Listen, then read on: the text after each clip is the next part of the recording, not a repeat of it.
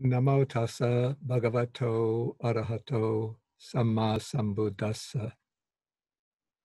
First, I would like to thank all of the people who have come out to participate in what we call this virtual walk to feed the hungry.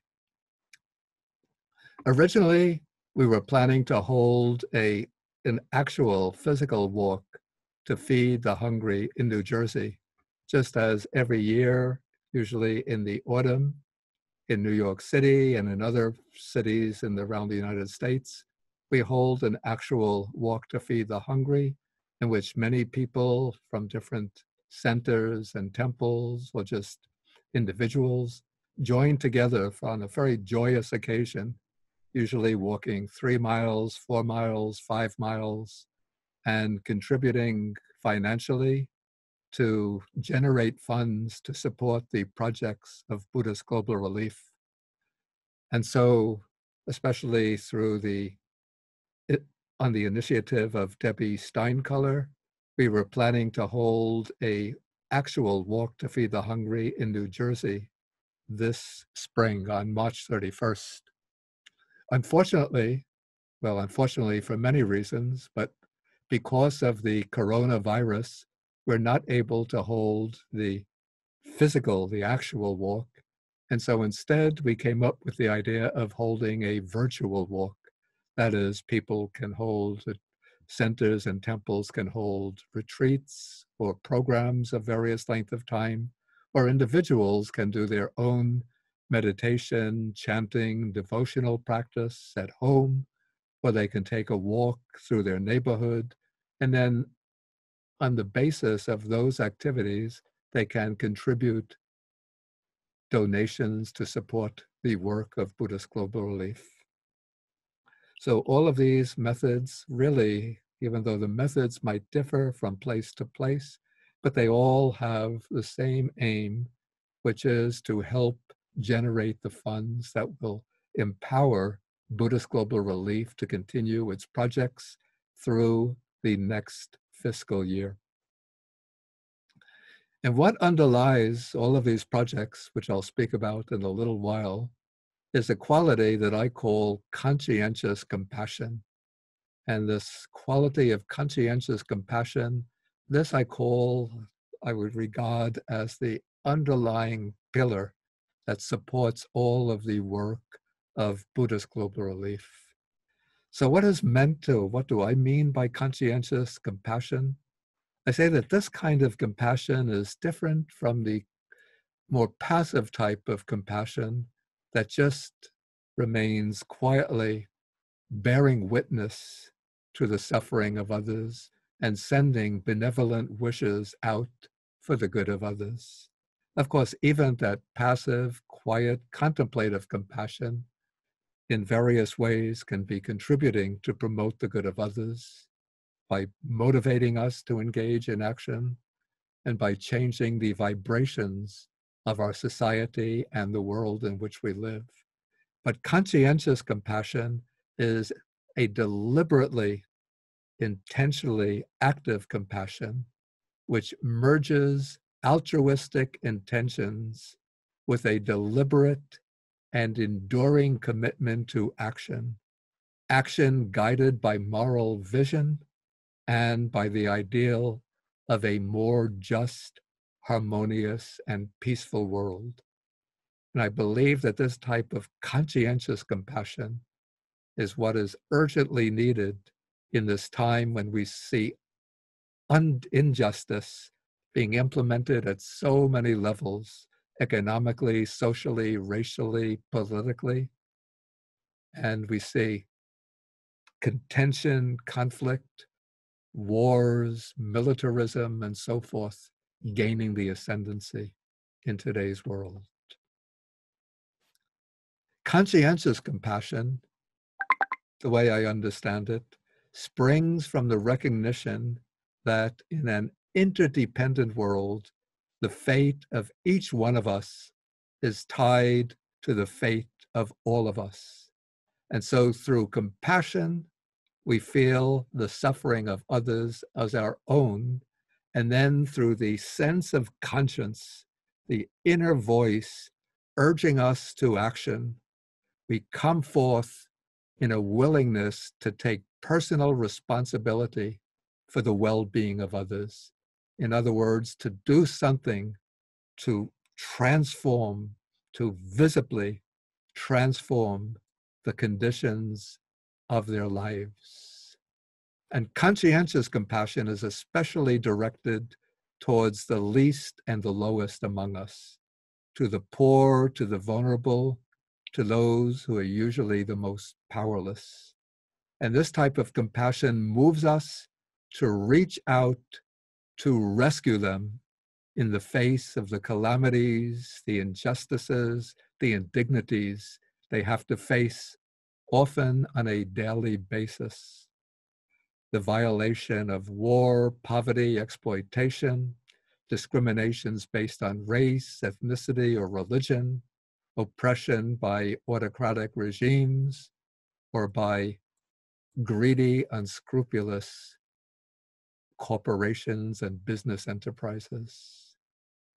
So, conscientious compassion to be effective must motivate us to look beyond the outer manifestations of this collective suffering and to look deeply into the causes of that suffering, causes that are often hidden out of view. And then, motivated by this compassion, we must be ready to tackle their causes and to affirm the rights of all people to a life of at least material security, peace, and freedom. The way I see it, conscientious compassion arises from the merging together, from the union of two secondary values which come together and reinforce each other. One of these is a commitment to justice the other is love, by which I mean a heartfelt concern, even dedication to the good of others.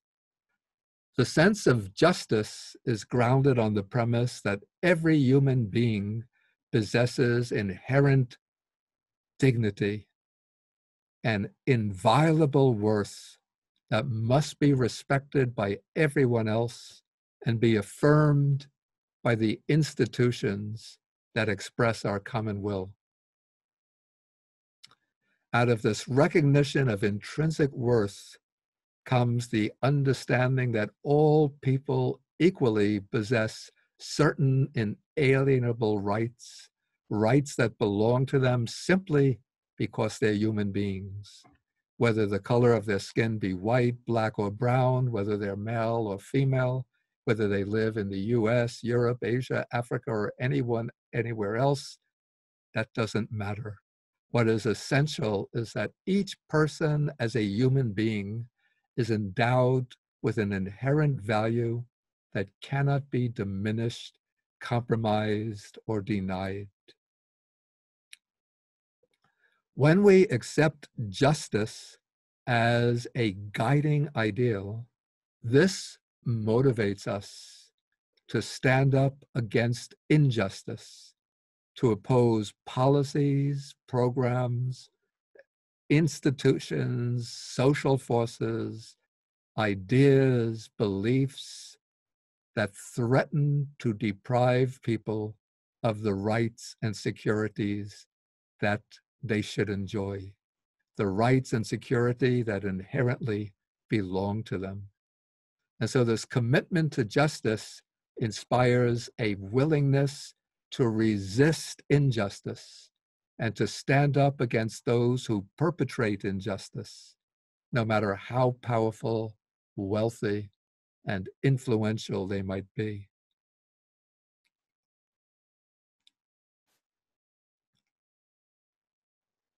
We resist those injustices in the recognition that the call of justice is more compelling than our own natural tendency to complacency, compliance, and submission. So people just often remain immersed in their own private concerns or in the concerns of the small groups to which they belong. But when we are motivated by the sense of justice, the foundation of conscientious compassion, we break out from the narrow shell of our own private interests. We look beyond the concerns of the groups with which we identify, and we look at humanity and even all sentient beings as a whole.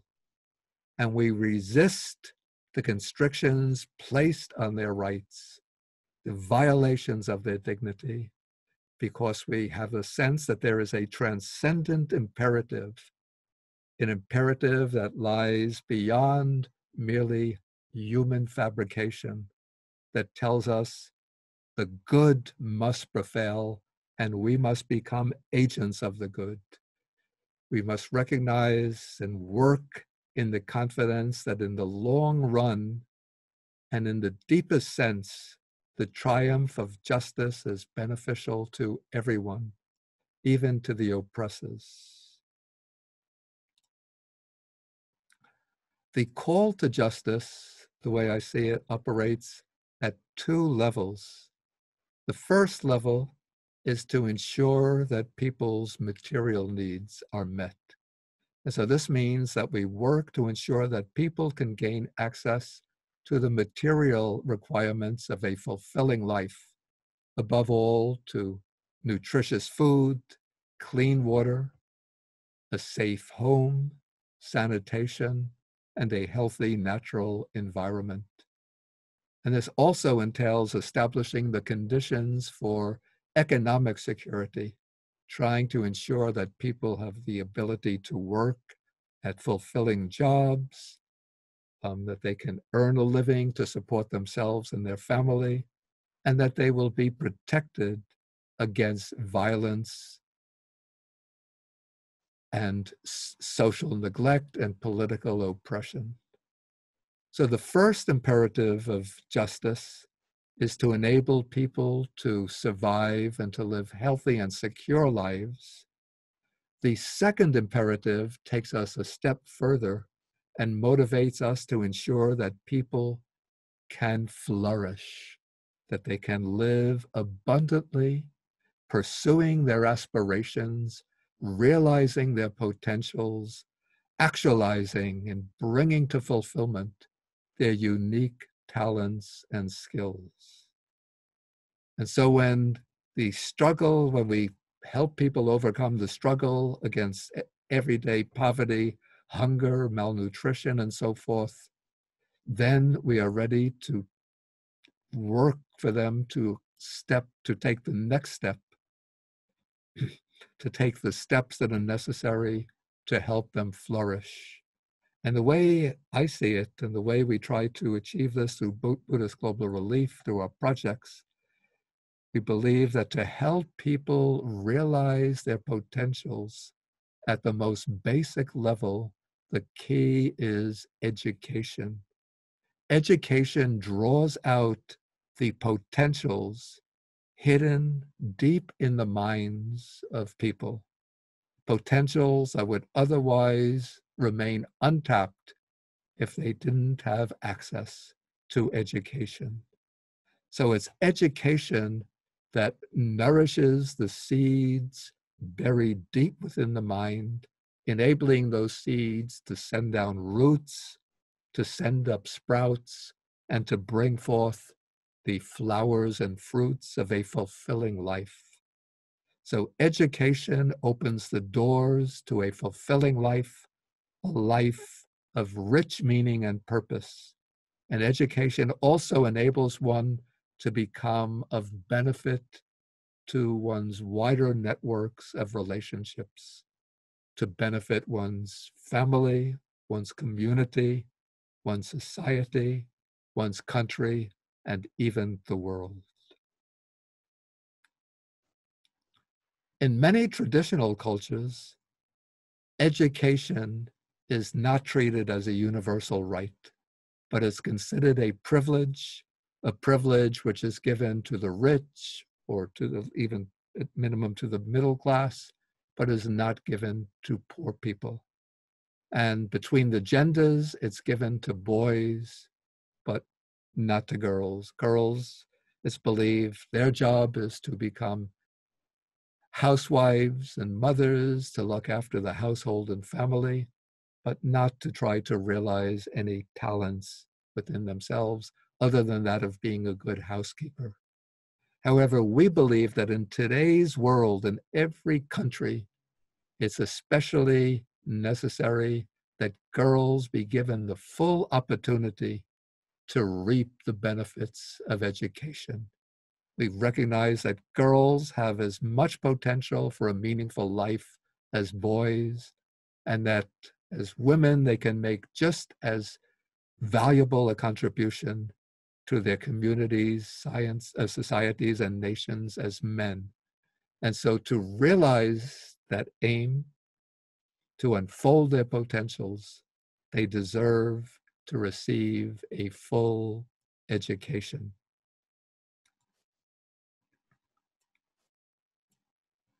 One of the examples of how this education project or this ideal of giving girls education works through the projects supported by Buddhist Global Relief is a program that we've been supporting for many years in Cambodia.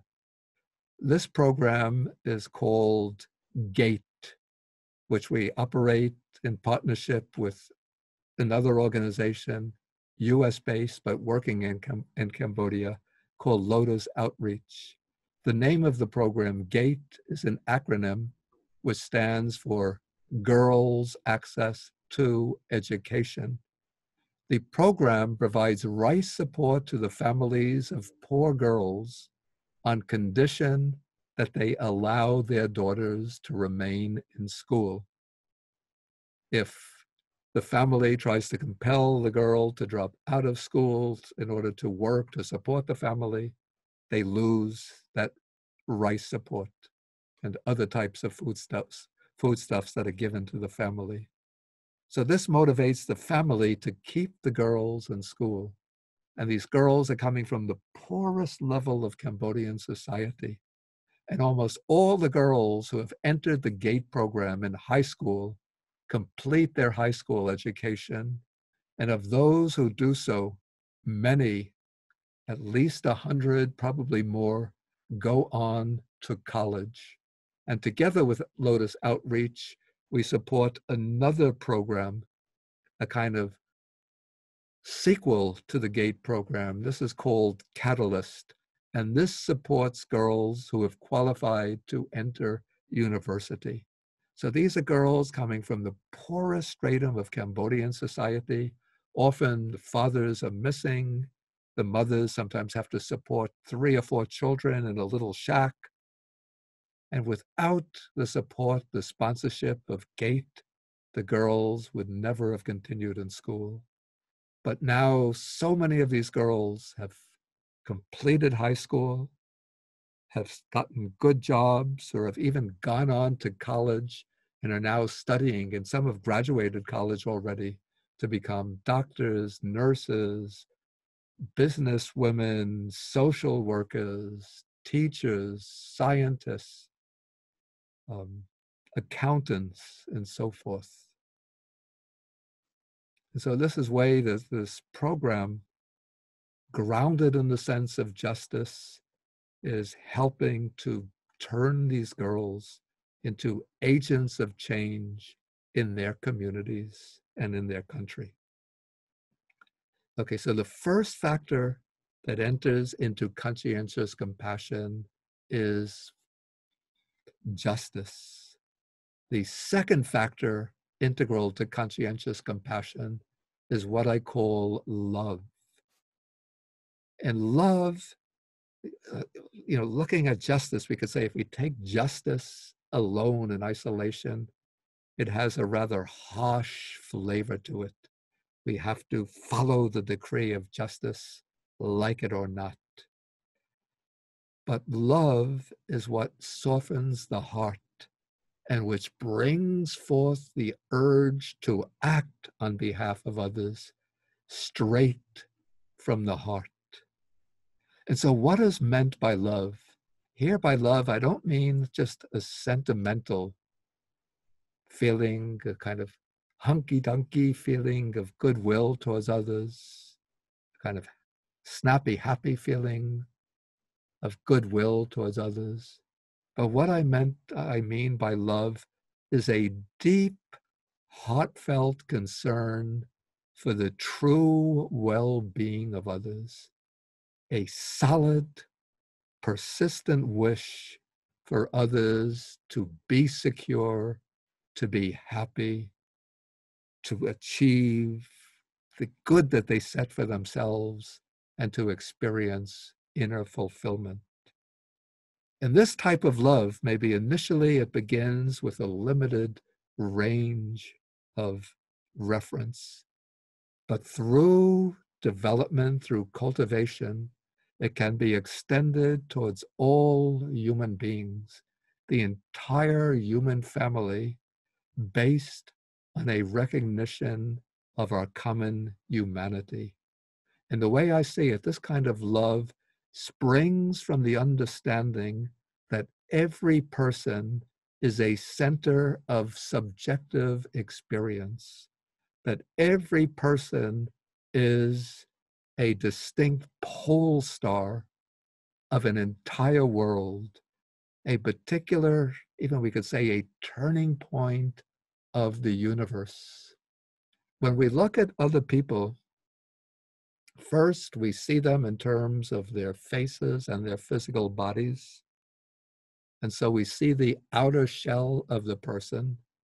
And then on top of this, we project onto the visual, visible image of the person our own categories, concepts, and you know, ways of processing the visible data and fitting people into our neat little categorical schemes, schemes of categories, which are often colored by our own biases, preferences, and prejudices.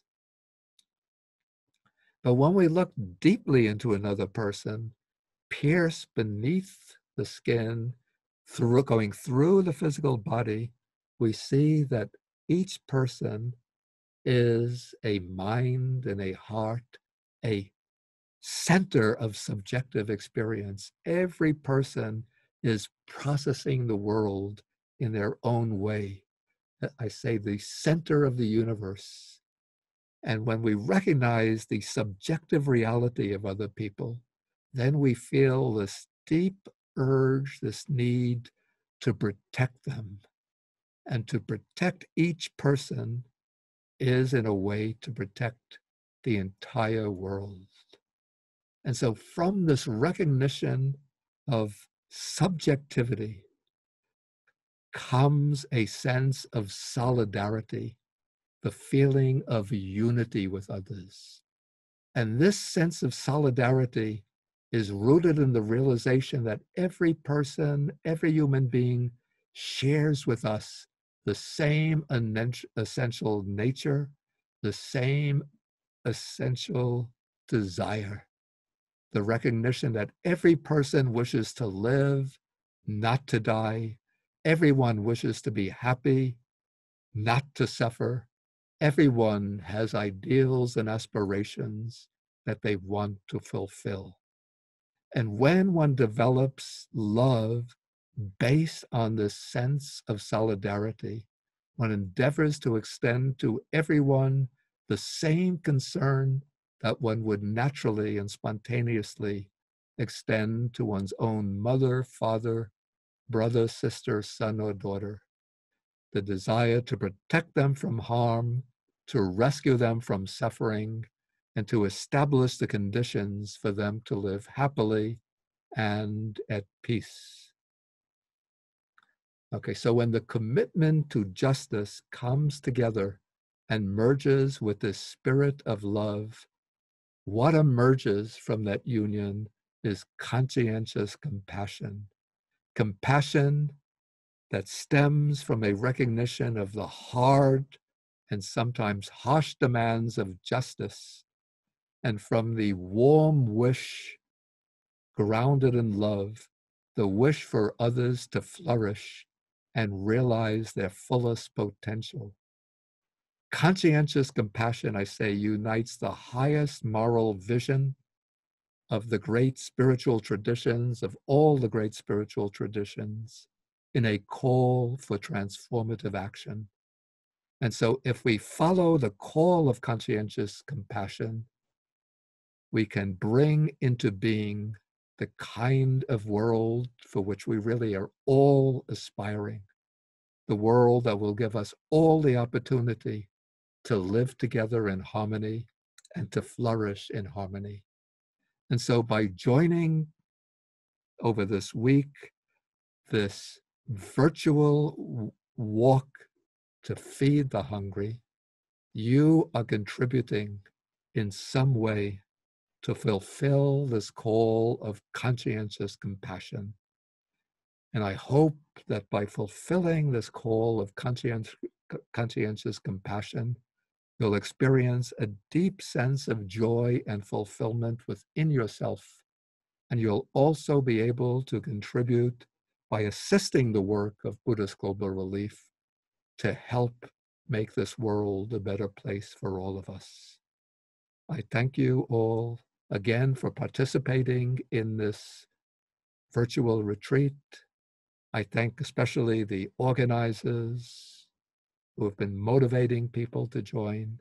And let me extend my blessings to everyone with these verses of, of blessing. Bhavatu Sabba Mangalang, Rakkhantu Sabadevata, Sabba Buddhanu Bhavena, Sabba Dhammanu Bhavena, Sabba Sanganu Bhavena, Sada Sotthi Bhavantu Te. Thank you again.